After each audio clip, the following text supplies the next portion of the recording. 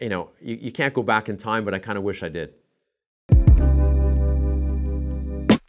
Uh, my name is Joel Gerson. I've been doing jiu-jitsu for uh, over 35 years. Fought professionally MMA in Japan. obviously. Oh, dude, that's that is incredible, man. Yeah. Oh, look at look how bad it's bent, man.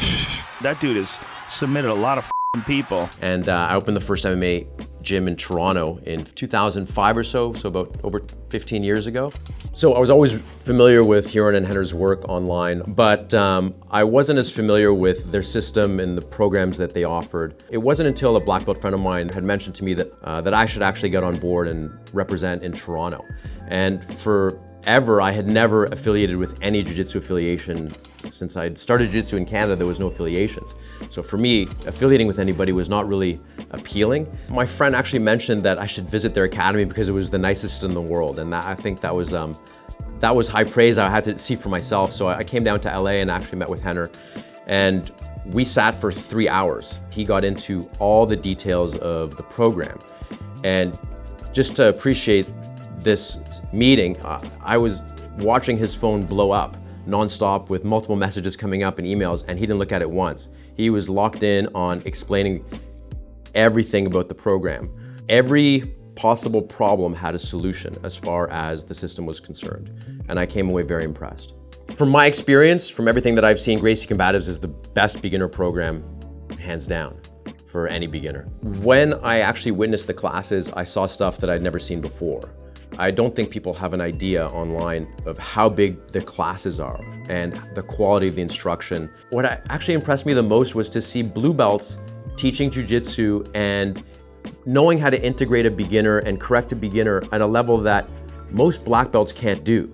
And I remember thinking to myself that there are blue belts here that I would hire over black belts that I know who have been teaching for 20 years. It's funny because I know they take a lot of heat for their methodologies teaching online and people learning jujitsu virtually, but my experience was that it's actually extremely difficult. And it's not just the technical material of the jujitsu, but it's how to teach it, how to structure it. It was a lot of work to a point where I actually don't believe that many black belts can get through it. It's quite challenging. When I came in person to test, um, I really saw with my own eyes how they are really drilling down on the quality and making sure that everything that's done at their own academy is done the same way at all the other academies around the world. So I finished the uh, instructor certification program live in California. Then I went back to integrate everything and it was crazy. Over time, it was just interesting to see little things that started happening.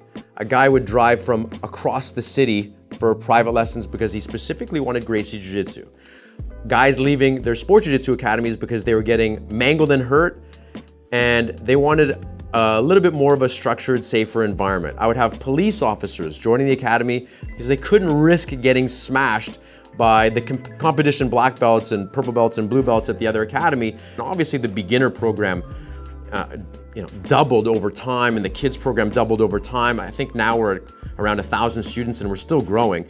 And I feel like if, you know, if I had just started uh, when I first opened my academy with this program, I, am trying to think how things would have been different.